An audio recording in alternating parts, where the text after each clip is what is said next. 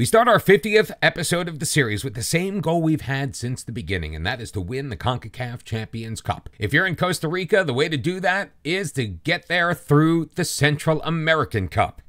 Guess what starts today? And welcome back, everyone, to the American Dream. I am Mr. Cellophane. If you have enjoyed the series so far, make sure you hit that thumbs up and subscribe to the channel if you have not. Please and thank you. We kick off our 50th episode of the series with Group C play of the CONCACAF Central American Cup. We are taking on Olancho FC Los Potros from Honduras. Because the match from the last episode was just a couple of days ago, and in a couple of days from now, we have a match in the league against Herediano. We're doing a little bit of rotating as we take on Olancho FC. Conte is going to get his second consecutive start in goal. He picked up the clean sheet. He has earned it. Vitan Tusha is going to get the start at striker. Willem Getz is going to be our left wing. Marvin Alfaro getting the start on the right-hand side. Up the middle is going to be William Ramirez. Our midfield two is going to remain the same. Steven Akista and Emmanuel Chacon are back Four, however, is going to change ever so slightly. It's going to be Herrera, Innocente, and Cordero in their normal positions. Gerald Taylor getting the start because Freddie Gonzalez, well, going all the way back to last year, he's suspended for this one. I honestly am not sure what to expect from this match, both from our team, because we are rotating a little bit and we've got a lot of new faces, some guys still needed to get really bedded into our system, but also the opposition, because every time we have participated in a continental competition, we've taken on a team from either the United States or Mexico. And when you're dealing with Liga MX and MLS, we kind of know what we're getting. Honduras, not so much. Talked about it in last episode. We do need to take advantage of the set pieces. I think our team is built for it. I think we train them very well. And I think they could be the centerpiece of our attack for this season. Padilla, though, winning it back for Olancho. will play it back. Canales up for Baden. Fed forward, looking for Melendez, but Cordero is going to get there first. Akista will look to turn it the other way. Tusha moving it to his left. He's got runners heading toward the box, but Tusha's going to stay with it. Knocked away by Diaz. Tusha back to Herrera. Up that left wing, looking for Akista in the middle. Tusha drops it for Chacon. It's going to take a deflection off of Tusha and go in. His first goal of the year. It's Saprissa 1, Olancho nil. Getting out to an early lead and taking the first five shots of the match, exactly what we wanted to do. Another corner kick. Willem Getz picking up a weak clearance, his first goal of the year to make it 2 0 Saprissa. I take it back, it wasn't a weak clearance, it was actually Diaz getting his head on it. He made the pass out to Getz to score the goal, and 2 0 it is, but off of the ensuing kickoff, it's Olancho in control before it's stolen away by Cordero. Played ahead, Alfaro tries to get away from one man, drops it to Akista in the middle, plays it forward. Padilla intercepts, but Innocente will gather off of a bad touch. Gets into the box, gets will drive, and will put it past the keeper for his second of the night back to back goals within two minutes by Willem Getz, and it's Saprissa 3, Olancho nil. And it was a weak play by Perez, Innocente, playing it up for Getz, moving it into the box. He saw an opportunity to beat Hassel, and he took it. Honestly, this could not be the more perfect start to our Central American Cup competition. Another corner for Cordero, This one put on by Nassim Innocente, his first goal of the year. It's 4 0. I mean, every highlight in this match so far has gone our way. I didn't plan like that. I'm not cutting any of the action out. Getz sending it in. Second of the night for Nassim Innocente. Getz with a third goal contribution on the evening. Saprissa 5, Olancho nil. Third goal of the night that has directly come off of a set piece. And we are cooking with gas. Our home crowd is absolutely loving the display that they are seeing from Saprissa tonight. Getz to deliver another one in, looking for Innocente. This time it's popped up. Herrera playing it across Ramirez. His blast is going to be blocked and cleared. Perez will gather for Olancho and look to start the counter attack. Hurtado in control, moving it into the middle. Diaz with it now across for Oliva up the right wing, but he is going to be marked, so he'll drop it back and the attack is over. Conte looking to send it long into the Olancho end. One by the away side. Played out wide. Oliva carrying it forward. He's got Herrera backtracking. Oliva looking back post. Melendez pushed down by Hugo Cordero, who has done so many good things in this match. That wasn't one of them. Penalty has been called. Melendez steps up, beats Conte to get one back. It's Saprissa 5, Olancho 1. Well, Mohamed Conte's perfect running goal couldn't last forever. 5 1 lead, though, and we still have five minutes left in this first half. Off at the free kick, it'll be cleared away. Alfaro gets it, plays it towards Taylor, who will chest it down. His cross will be blocked, and Olancho looking to go the other way, trying to add a second before the first half is up. Drop to Bodden, across for Cruz, taken over though by a backtracking Getz. Throwing it forward, Tusha running after it, but Olancho will regain control. Canales up for Oliva, looking for Perez. Akista stepping in front of it. Herrera, Ramirez looking towards his right. He finds Alfaro there. Alfaro still in control in the middle of the pitch. Akista pushing it forward into the box, splitting the defense, taking the shot and clattering it off of the crossbar, putting it behind for an Olancho goal kick. And that is most likely going to be the final highlight of the first half. 45 minutes in the books. 11 to 5 your shots on goal in favor of Saprissa.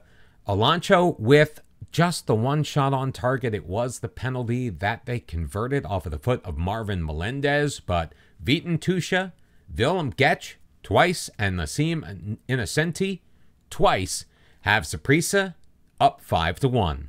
With a four goal lead and victory almost assured, we're going to make some changes. Michael Sambataro coming in in place of Daniel Herrera. We're going to give him a rest. We're going to leave Getz out there for just a little bit longer, give him the opportunity to maybe pick up that hat trick. But Tusha is going to make way for fresh legs in the form of Esteban Cordero. And in the midfield, Randall Gomez is going to take over for Steven Akista. Three changes as we head into the start of the second half. A first half that was all Saprissa at home. Can we do the same thing in the second 45? Free kick Ramirez, looking back post. Badia is going to clear that away. Can Diaz get there first for Olancho? He does. He'll play it forward. Melendez in a little bit of space, which he does uh, get closed down a little bit by Cordero. Cross in the middle. Perez able to put the header on, and it will skip past Conte to make it 5 2. All right, boys, now you're starting to make me a little bit nervous. We've hit the hour mark. We are still winning by three. I'm not giving up hope yet, but this second half has been owned so far by Olancho FC. Julio Perez picking up the goal in the 60th minute, which has knocked the lead down. We are getting close toward the end of the match. Willem Getz is tired. Ramon is going to come in and take his place. Emmanuel Chacon will make way for Luis Alfaro as two more changes are made. But before that happens, Getz delivering the corner. Oliva, though, will clear it fairly easily for Olancho. Sambataro up ahead. Gomez gets nutmegs a man, still with it, gets with a drive from 25 yards out, and that will go easily into the stands as the changes will be made. 20 to 8, your shots on goal with just about 10 minutes left to go in this match, and Saprissa enjoying a very comfortable 5 2 lead. As comfortable as any three goal lead is, even though it did feel like things were tightening up a little bit after Saprissa scored two in a row. Cordero dropping it back for Ramon Taylor.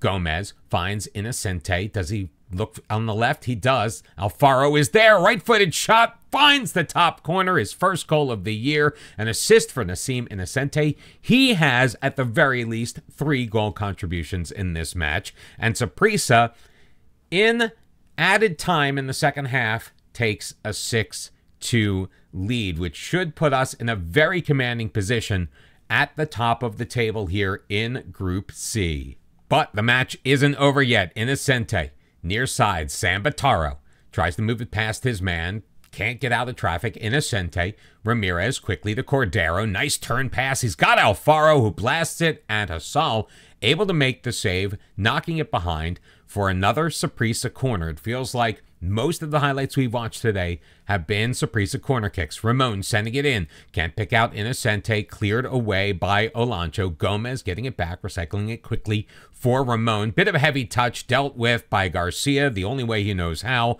putting it out for a throw. And the final whistle is going to come. 6 2, your final score in the end.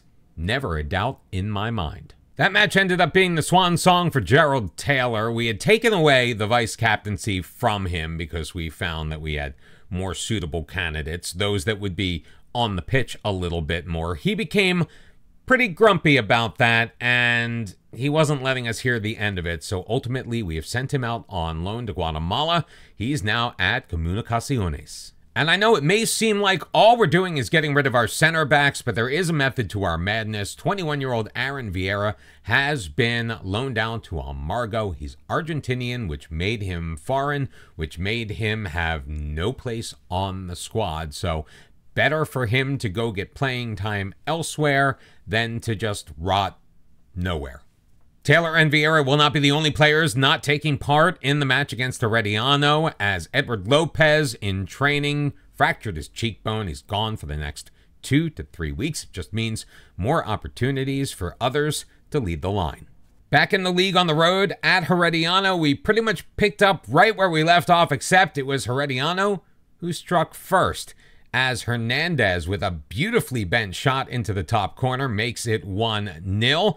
We would get it back though in the 35th minute. Ball fed forward. Moreira finding Cordero for the goal, his first of the year. He'd been relegated to our third string striker. He's like, let me show you what I can do. Tusha around the side into the middle finds Cordero for his second late in the first half. 2 1 Saprissa at the break. 75 minutes in, Cordero looking to make it a hat trick, hits the crossbar. It pops the Tusha, who puts it home for his second of the year and a 3 1 Saprissa lead. We would add the exclamation point in the 90th minute. Ramirez taking it forward, knocked away by Alianov, straight to Morera for his second goal of the year.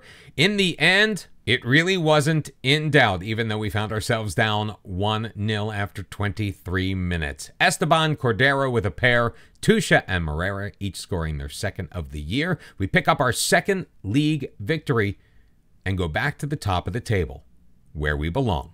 We have ourselves a ton of youngsters who can play center back, but none of them are well, frankly, even close to first team ready. So we needed to bolster our numbers at the position, make sure we had enough depth to not cause any discontent amongst the sides. So we went back to our old foes in Herediano and we pilfered another player from them 23 year old Randy Duarte, Costa Rican U20 international. Not completely in the mold of the center backs that we would typically look for. He's a little bit slower than we would like. His heading ability, not as great, lacking a little bit of composure as well. Decent positioning, though, good decision maker. His anticipation is key. He also stands at six foot two, and well, once you're six foot two, everything else kind of goes out the window. So we were off to Nicaragua, back in the continental competition, taking on Real Esteli. Mohamed Conte getting the start once again in goal. Daniel Herrera back as our left back. Innocente and Gonzalez will be the center backs, and Hugo Cordero getting the start again on the right side. Akista and Chacon will man the midfield. At the 10, once again, is Diego Moreira. Tusha and Getz will be the wingers, and for the second consecutive game off of a two goal performance, after all, is Esteban Cordero. New signee Randy Duarte will be on the bench. Real Esteli coming in, having won their first four matches in all competitions. Well, guess what? We've done the exact same thing. And it's not even a question of which Saprissa team is going to show up, the one in the first match or the one in the last three. We have put in back to back to back solid performances. I am expecting Saprissa to come away with an easy victory, even though we are on the road, not sure what to make of this Nicaraguan side. First highlight is for Real Esteli. Medina controlling it off of the throw in will drop it to Martinez. Back for Gutierrez. They're enjoying quite a bit of possession, but it's all been in their own end so far. Every shot on goal in the first 15 minutes has gone Saprissa's way. Nice header ahead for Cordero. Getz gets it back, even though his original cross was blocked. Akista shooting it from range and just a little bit too strong. It'll go out behind for a Real Esteli goal kick. Four shots to nil. We have managed two as Cordero makes another great defensive play. Our defense has been stellar in the early going. Getz centering it. Can't pick out Cordero. It'll be cleared, but only as far as Hugo Cordero. Flipped forward. Tusha across. Chamorro looking to clear. Herrera, though, putting it on goal, hitting it into the ground for his second goal of the year. 20 yards out, and it's Real Esteli nil. Saprissa 1 as we cross the 20 minute mark of this match. Chamorro thought he had cleared it. Herrera just steps into it and drives it home to give Saprissa the 1 0 lead. As long as we keep dominating in this way, we are going to be very successful all year long. Akista gets the ball, drops it to Innocente near the midfield stripe. Left side for Herrera, moving it in, looking for Cordero behind the defense, and he will pot home his third goal of the year, except Cordero was deemed to be offside. So off of the free kick, Hansak will send it forward. Chamorro's got Gutierrez. Tusha, though, will pick his pocket, cross it over to Getz. Getz moving it to his left. Akista into the box. Marrera off of the post and in. Diego Marrera with his third goal of the year. And Saprissa takes a 2 0 lead. We have been all over Real Esteli just like we have in the last couple of matches. Off of the throw in. Akista into the box. He's got Getz. Works his way around two men. Puts the shot on, but Hansak in perfect position to make that save. He will drop it down and boot it into the Saprissa end. Nobody there but Herrera, so he will settle it down off of his chest. Up the wing, Tusha moving it into the middle. Tusha still with it, dribbling. Tusha shooting from range, and it'll trickle in on Hansak and ultimately not trouble the keeper. Cordero with the free kick so very close. Hansak had to get his hand on that one. He almost tucked it in under the crossbar. Cordero to take the corner from the near side, sending it near post. to Salinas heading it high. Gonzalez, Alfred Cordero, back to Freddy Gonzalez. Cordero, Gonzalez, Innocente still in control. Will just look to recycle it back to Akista. And that is pretty much going to do it for the first half. A first half that was all Saprissa, 15 shots to one. Herrera and Morera each scoring a goal to give us a 2 0 lead. The message at the half was well, things are going great, but they can be even better. Free kick, Tusha, headed away by Hernandez, but tracked down Herrera. For Morera, trying to pick out the top corner, but his shot's going to go wide. Not much has changed here in the second half. We are still buzzing, looking for a third. Hugo Cordero in control, carrying it up the right side, around the edge of the box, into the middle. It finds its way through to Vitan Tusha, picking up his third goal of the year. And it's a Saprissa 3, Real Esteli nil. Tusha just charging forward, and we've hit the hour mark. 21 shots on goal for Saprissa, still just one for Real Esteli. Another corner, Cordero, Gonzalez, and Freddy Gonzalez heads it home into the ground for his first of the year to make it four. I think if there was any doubt of how this team was going to perform this season, it has all been wiped away. We're going to give Ramon some playing time. We don't have to worry about the foreigner requirement here in the Central American Cup, so he can play. Tusha is going to slide into the striker position. Emmanuel Chacon, feeling a little complacent, is going to be replaced by Luis Alfaro. Now, because we're up 4 0, our bench is generally uninterested in what is happening in the game. But hey, if we can get some minutes in some of our younger legs and take off some of our veterans and save them for the next match, well, that's something that we are going to do. Real Esteli has managed a second shot on goal, still nothing on target. Conte untested in this match, and it's going to end with a whimper for Real Esteli. Four goals on the night for Saprissa, much more than we needed. 25 shots to two. Another commanding performance by our little Costa Rican side that could. So halfway through the competition, we find ourselves where we expected to be at the top of the table, a plus eight goal difference on six points.